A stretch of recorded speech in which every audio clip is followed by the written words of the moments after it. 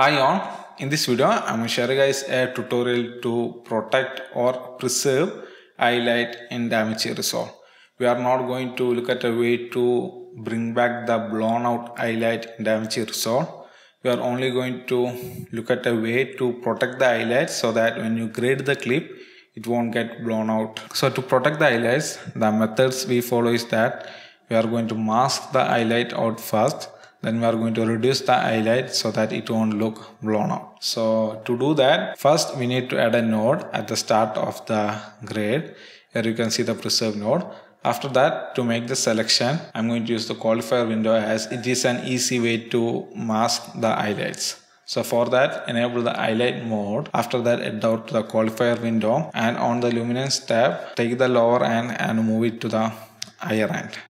And you can see it is selecting highlights only and you can refine the selection by using this LSoft. Then you can refine it more by using these options. Blur radius will add blur to the edges.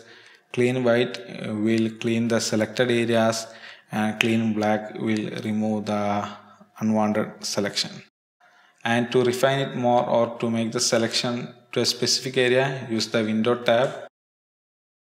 After that disable the highlight mode to the primary log wheels and reduce the highlight. You can even use the highlight wheel or you can use the curves or you can use the gain to protect the highlights. So that's all about this uh, video guys, video to protect or preserve highlight in DaVinci Resolve. I hope you guys find this video useful. If you do so, hit the like button and don't forget to subscribe.